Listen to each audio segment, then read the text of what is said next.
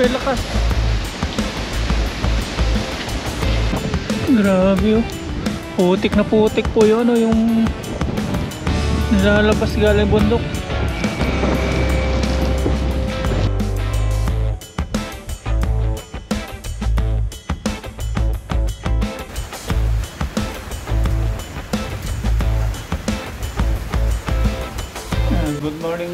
What's up mga papa? Ngayon po ay araw ng Miyerkules at wala po tayong pasok gawa po ng nag-message po yung aming ano, yung supervisor sa aming group chat. May group chat po kasi yung aming ano, yung aming company sa line.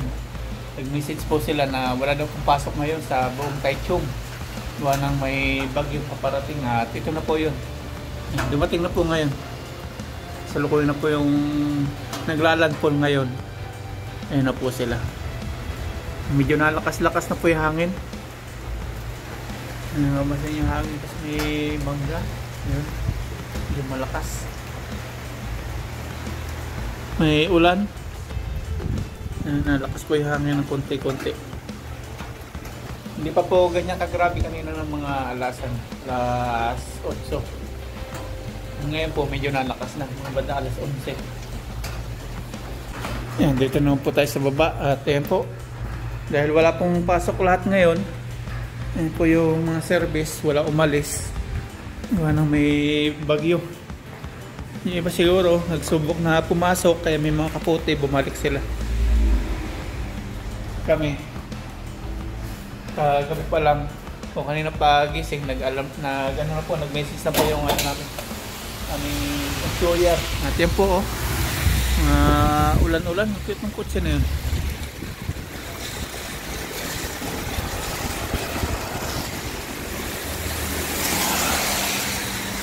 Malakas po ulan.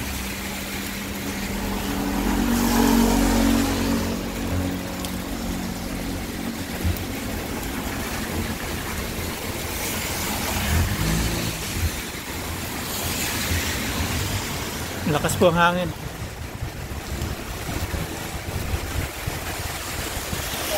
Naglalandfall na po ngayon. Kasi kanina mga alas 8 wala pong ulan. Ngayon na po ang ulan. Mga bandang 10.30. Yun na po yung bagyo. Malating na.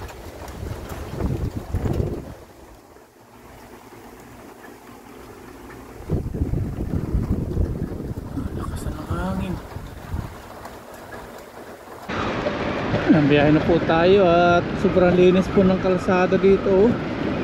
Yung mga tao nasa loob ng bahay. Ayan, wala po tayo makikita mga halos sasakyan tapos mga tao sa paligid po natin. Nasa loob sila ng bahay.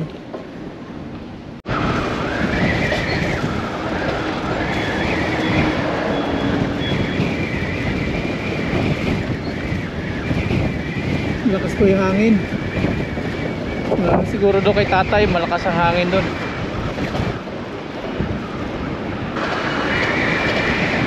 Umuulan na po doon sa bandaro no. Unahan natin. Ulan na.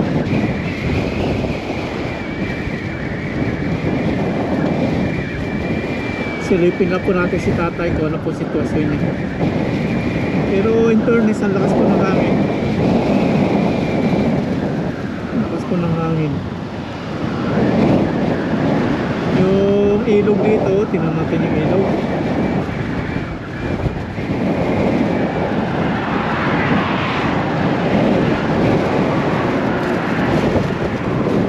po yung ilog. Medyo nalaki na po yung ilog. Ano? Malakas po yung hangin. Pero walang ulan. Sa dulo lang natin may ulan.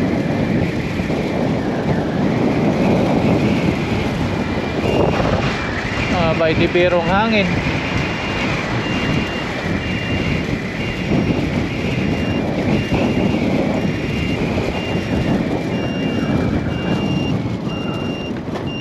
Gado yun. Wala po halo sasakyan. Oh, ang lakas po ng hangin. Walang mga motor.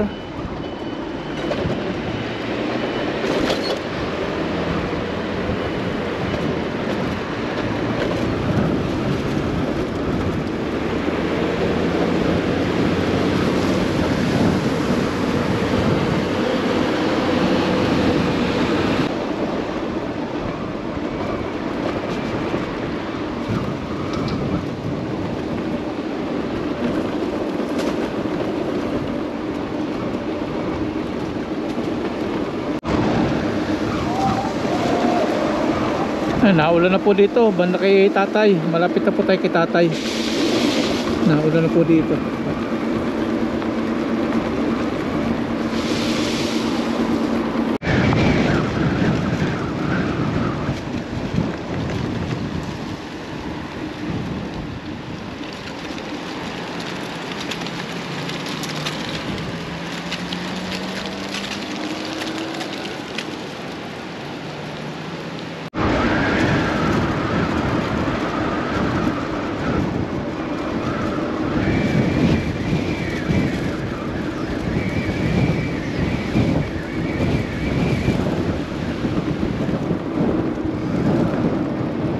Nandito na tayo kay tatay na place at nandito sigurado siya kasi nandito yung kanya ano yung ginagamit pang lakal.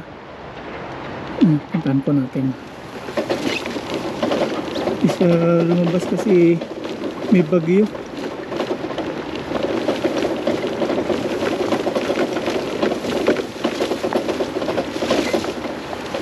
Malakas po yung ulan. Isilong tayo kay. Wala na siyang kalakal. Hmm. Wala na siyang kalakal. Ating parke tatay. Ating ayuda. Dali natin gamit natin baka mabasa.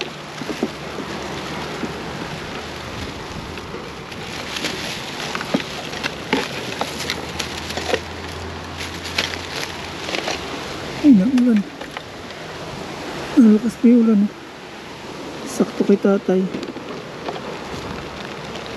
Dala natin ating kaputi. Case na lumakas yung ulan. Ayan, tara. Punta tayo kay tatay. Naminggi tayo. Ayan natin si tatay dito. Lumakas pa yung ulan, oh. Ang dami tilapia. Ayun. Ito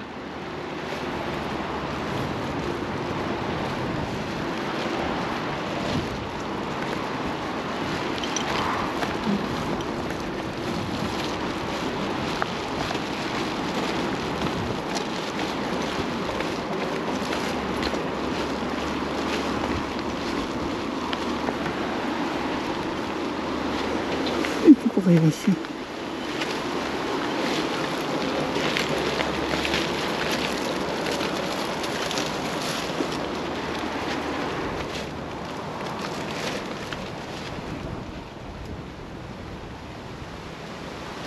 kaya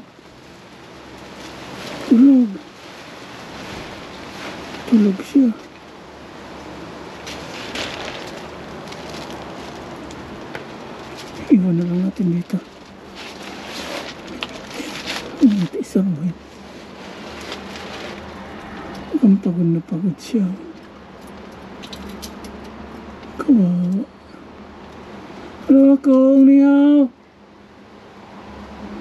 Ờ. Ok nitong si ờ. Chupa lama ờ chupa na hame hame à ayo chua? Chapa ayo chua? Ni chua? Yo tay pong eh. Tay pong ah. Cinta yo tay pong. Mau mengenai sih à 的事情啊。啊，现在休息啊，今天休息台风。没没，呃，要到早上早上，才会到了。 对啊。Ah, ni chua. Ni pa daw siya kumakain. 弄到快来， Ni chinali. 啊， Waimen ah. Ni miyo chuchi waimen ma. 下一出去没有用啊。 Ni miyo na chua. Ha? Ano to? Ito sa atin to. Nagawa. Ah, Ờ chưa? Đây đây. Ờ, ờ cái này. Ờ được. Ni hao. Ni mi chú chi tay pong. Ni mi chú chi tay pong. Tay pong, xin sao yêu tay pong á? Tưởng sao bên kia chỗ đó nghe nghe không à? Này chỉ tao mà. Chỉ tao. Chỉ tao yêu tay pong trên tay nào. Tao bên kia chỗ đó thơ thơ gì này à? Ờ. Chú ba, ni chưa? Thế gà yêu chưa? 等一切我再吃啊， Ha? 等一切啊， Waimen ah. 等一切我再吃 Yan 啊。 siya, oh. Ay, wo yung chua. Ha? おいやはいみちは哦，你客人吃啊？啊你还有饭吗啊？没有饭啊饭没有你没有做菜啊，没有啊，没办法下雨 시야 이좀 미가 좀 주세요. 어, 아, 아, 아. Pada siya kumain. Hmm. Kaya,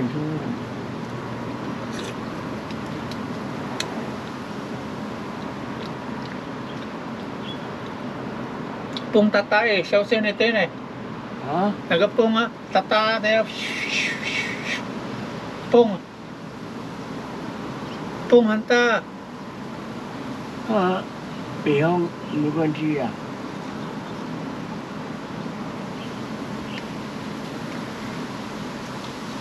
อืมโอ้โอ้ยโอ้ยจะเป็นผ้าเจ้าผ้านั้นทองที่ไหนเฮ้ยอ่ะว่าป้าป้าเฮ้ยอ่ะเปียงที่ไหนหรอบอกกันเนี่ย Kena taipung bukan ni ya. Gue dah.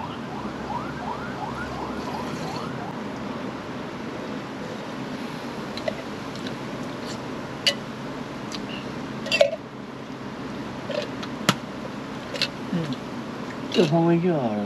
Kenapa dia? Eh, pun menjual. Ni yo chen ma, tôi kia ni chen. Wow. Hiệu có giàu. Không có chen nữa. Không có chen à? 我哎我连 money 都没有。 Okay ni. Ah. Thank you 啦，谢谢你啊。 Ah, ni Chu ah. Ni Chu. Ah, 啊， ni Chu ah. 等现在吃啦，现在吃哈， Ah, Chu ah. 等现在要饿了， Ni Tojo era. 没有你 太好吃的话哈， Ah. 等就就要要饿了。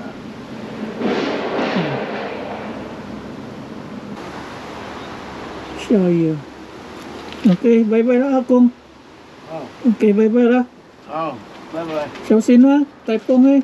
哎， Iya, sui kau kau ah. 不会啦， Oh ah. Okay, bye-bye. 好，拜拜。 Hmm, Wala tayo mo pa. Bumili tayo. Wala na siyang kalakal.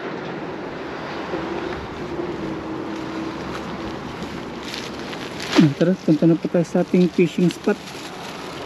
Umingit na po tayo. Bumili po tayo ng pamain kanina.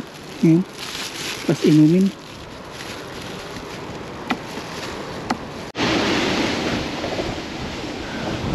Ay, grabe.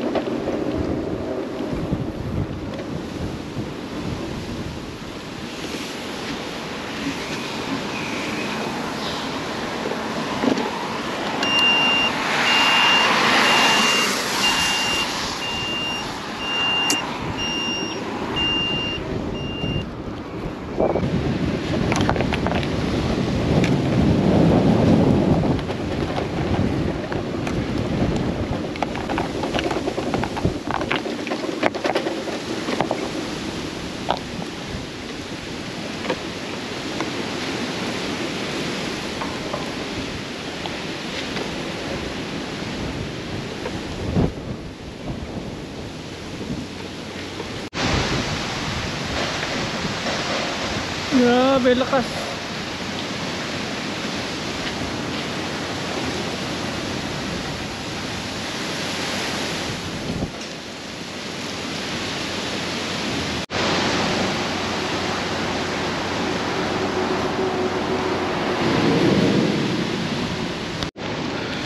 May nadaanan tayo na laglag na pugad kakasimula pa lang to. Kawawa naman kung may itlog to.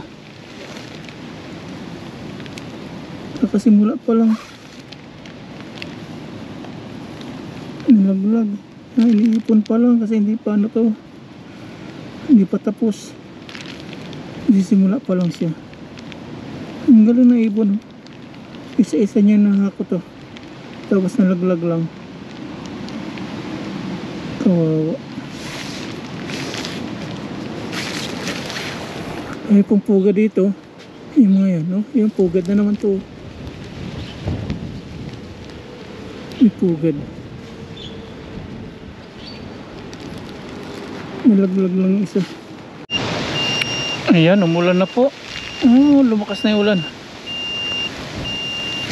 Saktong-sakto lang talaga uwi natin. Wawa si tatay oh.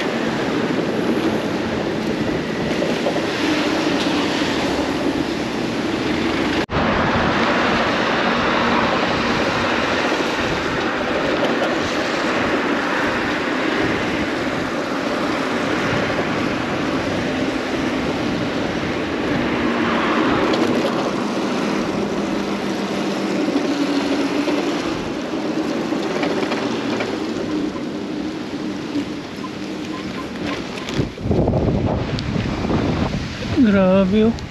Putik na putik po yun oh, yung nilalabas galing bundok. Ang lakas ng hangin.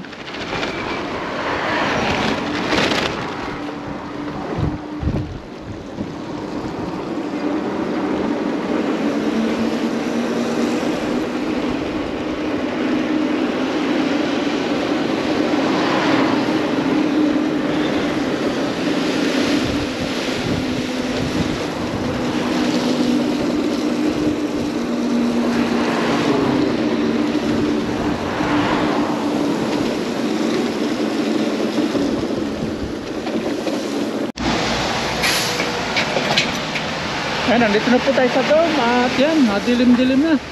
Wala 5 pa lang. Hindi ko gaya nung nakarang araw, wala 5, maliwanag ulit ng araw ngayon. Dahil may bagyo, ayan na. Dilim na, tapos malakas na yung hangin. Hindi malakas po yung sa karina. Ayan, tara, pasok na po tayo sa loob. Magluluto po tayo. Bumili po ako na ano, ng pork. Dumaan tayo sa grocery store. Magano po tayo, magsasabaw tayo. Tapos iprito po natin yung tilapia. Ayan, uh, gano'n tayo, nagubad na tayo na damit, maliligo po tayo at pakita ko po sa inyo yung kalagayan dito sa labas. Buti nakauwi na po tayo kasi ngayon po yung landfall ng bagyo. Ayan, sobrang lakas po ng hangin. At yung saging dun mga paps, nabuwal na po. Ayan, lakas na. Sakto po yung natin. Landfall na. Hangin ito mga to. Lakas ng hangin. Yan, magluto na po tayo mga paps at kasalukuyan tayo binabayo na ng bagyo at mga alas 7 po yung pinakang landfall dito sa bansang Taiwan. Sinarado po natin yung ating bitana kasi yan, lakas po ng hangin sa labas. Aba.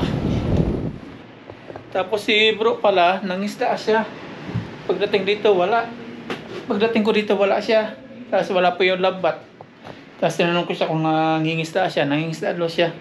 Hindi niya alam na ngayon po yung oras ng pagdating po dito ng bagi sa Taiwan. Alas, ano na yan? Mag, si 6, ay, 6.20 na. Ngayon po yung landfall, mga alas 7. Kaya tinawagan ko siya, sabi ko mag-iingat kasi ngayon na yung dating ng bagyo. Kaya yan, pauwi na daw siya. At yan, magluluto na po tayo. Pero bago po tayo magluto, meron lang po akong kunting yan po sa inyo. I isi-share about po sa binigay po ni Mama Ryan sa isa nating viewers o subscribers na talagang nakatutok po sa ating panunood tapos nag-message po siya sa atin yung kanyang anak daw is walang wala daw na pambili ng ano ng mga gamit sa school kahit damit kahit yung kung ano-ano na ano. Talagang mahirap daw po yung buhay. Kailangan daw po ng pambili ng ano ng gamit sa school. Magpapasok na po. At sabi ko kay Mama Ryan paki-Gcash na lang. At nagbigay naman po siya ng Gcash number at inihulog po ni Mama Ryan. At hindi na po ini video ni Mama Ryan kasi nanto siya nahiya siya mag video video Gcash na lang po at yan yan nasa screen po mga paps binigyan po natin yung isa natin sa viewers o subscribers ng pang ano po pang bili po ng mga gamit sa school nung isa nating ano viewers at ang kwento niya dati daw ay meron silang ano meron silang yung ano tawag ito pinagkakita, pinaghahanap buhayan, kaya lang ginawa, pinagbili. Ay ngayon, wala na po silang mapagkakitaan, kaya yan na. Na ano na po, na may problema na. Ang gawin nyo mga paps, kapag meron po kayo pinagkakitaan, at kung ipagbibili nyo po yung pagkakitaan nyo, ang gawin nyo po is, ano nyo po, eh, pang business. O gawin nyo rin pong pagkakitaan. Kung ayaw nyo po nung pinagkakitaan nyo dati at pinagbili nyo na po, gawin nyo po, pag pinagbili nyo, is inyo pong ano yun, inyo pong ano pa, isip po kayo ng parang paano nyo po palalagoy yung pera. Kasi mahirap po yan, lalo na may anak po kayo. Naawa po ako sa anak niya. Ilan po yung anak niya? Tatlo, nag-aaral. At hindi, hindi naman tayo agad-agad na basta nang bibigay, inalam po muna natin kung ano po talaga yung totoo. At yan, naniwala po tayo sa kanya at binigyan po ni Mama Ryan. Pinachikas po niya para makatulong man lang kahit sa maliit na paraan. Bigay po si Mama Ryan ng 5,000 5,000 pesos sa Gcash. Ayun po mga paps. Yung pangkabuhayan po is wag niyo pong ipagbibili, pagbibili lalo po may ano po kayo, may binubuhay. Isang aral po 'yon. Wag niyo pong basta-basta lang ipagbibili ng walang dahilan. Tapos yung pera madali pong maubos. Hindi niyo po alam na naubos na po yung pinagbintahan niyo nung ano nung yung pinagkakitaan. Ngayon kawawa po yung pamilya nyo yan luto na po tayo. Yan magluto na tayo mga paps. At may pinapalambot na tayo ditong tubig. Ay pinapalambot pinapakulong tubig. Tapos nakapagawa na rin po tayo dito ng ano ng sibuyas. Ito po ilalagay na doon sa ating tubig na pinapakulo ilagay na rin natin to ang pork. At lumalakas po lalo po yung ano dito, yung hangin. Tapos nag-announce na po sa ano sa TV. Wala daw po bukas pasok. Buong Taichung. Taichung, Hsinchu, Changhua. Ano pa ba yan? Salamat po kay Ma'am Wena Gatchalian. Siya po yung nag-message sa atin. Siya po kasi yung ano dito, resident sa Taiwan na masukin natin viewers. Nag-message po sa atin si Ma'am Wena at binalita po yung ano yung yun nga walang pasok bukas. nag-PM po siya. Tapos nag-message din po sa comment section sa ating YouTube. Yan lagyan na po natin ano ng ating paminta. At bukas pag medyo maganda po yung panahon at hindi kalakasan po yung bagyo may isla po kami ni Dudoy kasama si Bro Alvin yan paminta tapos lagyan natin ng patis. Ayan, patis. Lagyan po natin. Pati lang. Yun. Hindi po malat yung patis dito. Talagang lumalakas po yung hangin. Tapos itong tilapia isa, nung halimisan na po natin. At piprito po natin to partner po ng ating nilalaga na pork. Tingnan natin mga pups ating pork. Yun. Pinahingaan po natin yung apoy kasi malambot na po yung pork. Ilalagay na po natin yung ating patatas. Ayan. Pag malambot na po yung matatas, matatas, patatas, ilalagay na po natin yung ating ano, yung gulay. Tapos magnaluto na natin to, piprito na natin sa tilapia. Pa natin. Kausap natin si Aya. Ayan, busy sila man ng balita. You know, pwede na po natin ilagay mga paps yung gulay kasi malambot na po yung patatas. Ilagay na po natin yung gulay. Ito yung kinukuha natin dati sa ano eh, sa palayan. Kaya lang ngayon wala pong tanaming palayan. Yung ganito.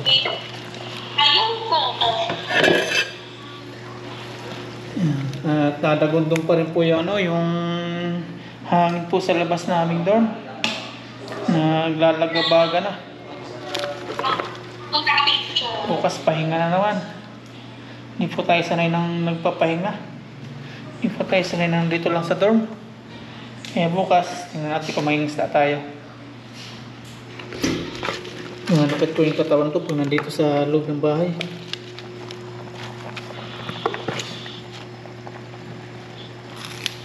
Yan. Eh, wala mo po tayo.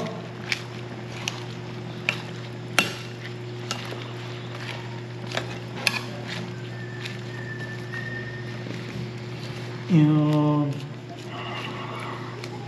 Takpan na po natin. Ayan. Mga 5 minutes, okay na po yan. Mag, ano na tayo, piprito ng ating tilapia. I-prito na po natin yung ating tilapia ng limisa na ayaw niyang magpakuha. Kakamay na natin.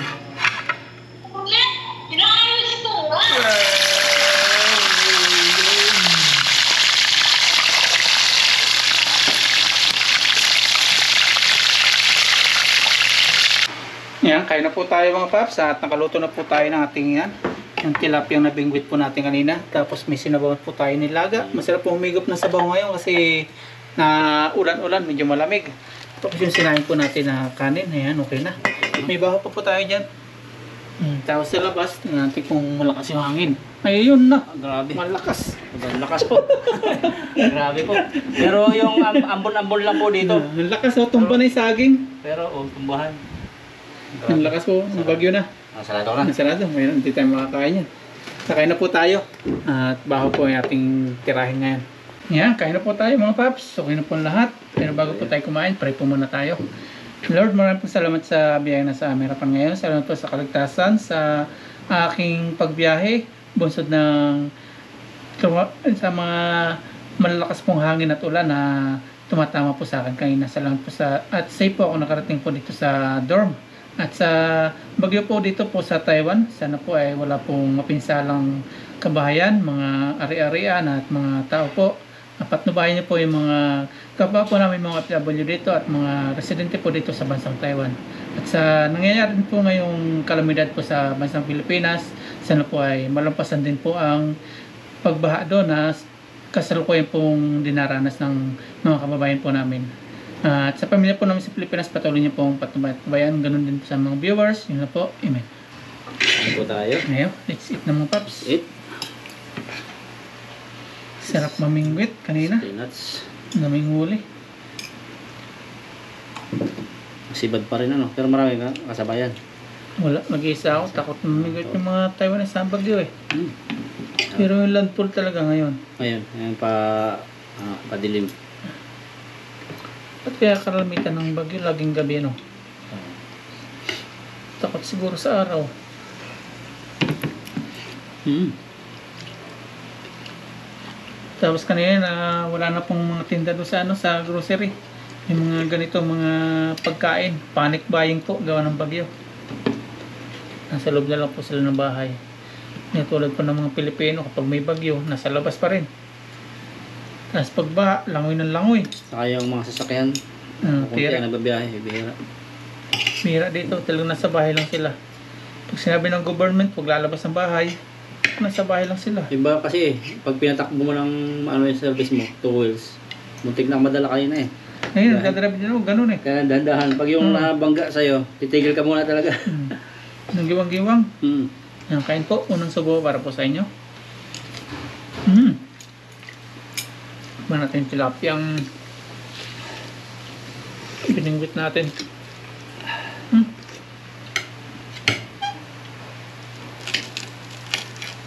Ano ba? Taba. Match po.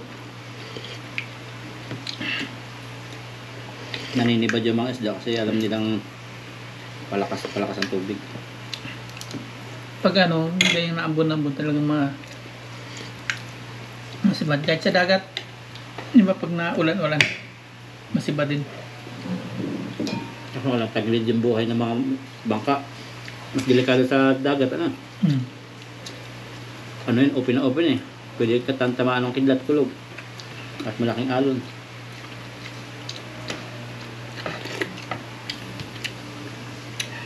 Payat na si tatay. Nana.